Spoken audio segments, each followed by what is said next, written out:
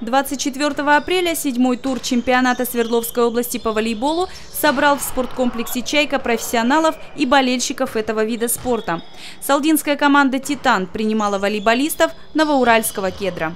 Верхнесалдинцы с первых минут захватили инициативу и к первому техническому перерыву выигрывали уже со счетом 8-5. Затем волейболистам из Новоуральска удалось переломить ход партии. В итоге кедр выиграл со счетом 25-21. Во второй партии титановцы выиграли со счетом 25-16. В последующих волейболисты из Верхней Салды контролировали ход игры полностью. Результат встречи – победа Титана со счетом 3-1. В рамках седьмого тура в минувшие выходные дни состоялись еще два матча, в которых приняла участие команда «Синара» из Каменск-Уральского.